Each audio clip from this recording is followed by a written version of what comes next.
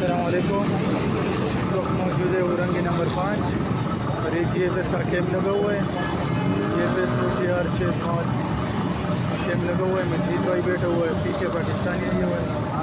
बहुत रश है.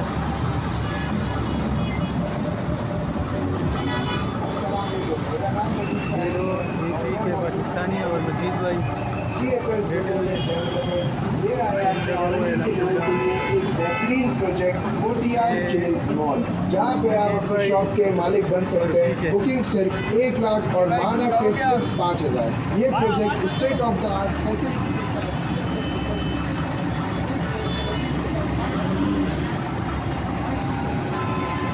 भाया हम भाई साहब